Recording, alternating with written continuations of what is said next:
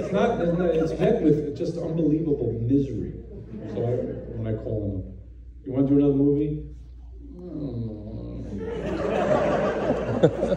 Again, they're laughing, they don't know it's accurate. No, I, I, what happens is, is that you get a language in a, with some of these people, and uh, in the case of Joaquin, and other people that I've worked with multiple times, you like the same things, you're interested in the same things, you want to explore the same things. But I started working with Joaquin, he was like four, you know. I mean, I no, the jokes aside, I think he was 20, and I was 28. So, uh, and that was the Yards, right? that was the Yards. My that was still to this day my least successful film on every level, and uh, which I like to remind him of. Um, by the way, I, I don't know introduced me. You know, I was 23 when I made my first movie, which is really yeah, Little Odessa, which is really insane because uh, it tells you how dumb Hollywood is that they would give me any money at 23. I mean, I knew nothing. If I knew how little I knew, I would never have hired me.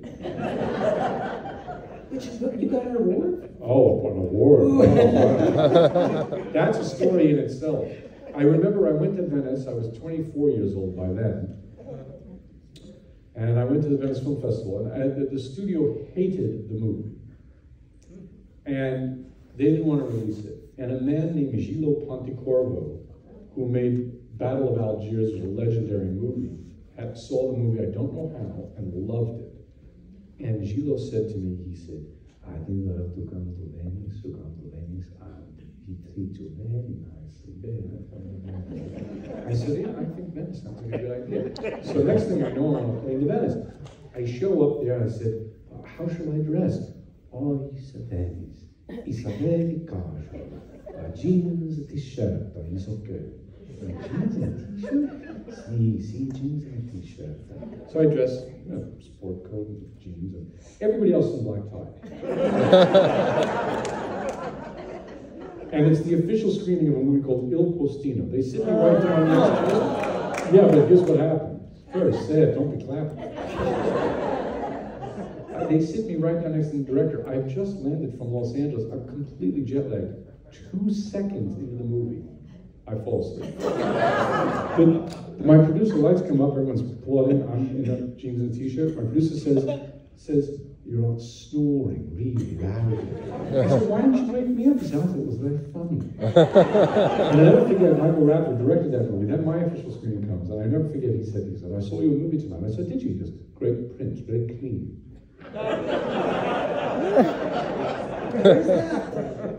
anyway, so my official screening comes up, and I'm like, that's it, black tie. Black tie, I got it. Everybody else jeans and t-shirt. they think I'm the waiter. I'm getting drink orders. They sit me down next to Maximilian Schell, the actor in the movie, and to my right is Giorgio Armani. And all of a sudden, Maximilian Schell has, has, has not seen the film yet. The lights come down. Oh, this is a bad film. film. He starts going like this. And by the way, to this day, I don't understand what follows. I look bold and fat, and I will never again play Handel. What's that? I will not play Handel. I cannot play Handel. I'm bored and fed, no more Handel. Handel? Handel? Anyway, he's talking about this during the movie. All of a sudden, Giorgio Armani and Maximilian, there, trying to watch movies, shut up. and the two of them get into a fight during my The movie ends, I'm dressed all wrong, Max Schell and George Armani get into a huge fight. I'm, I'm nine, I'm nine years old. the movie ends and it's like, it's like crickets.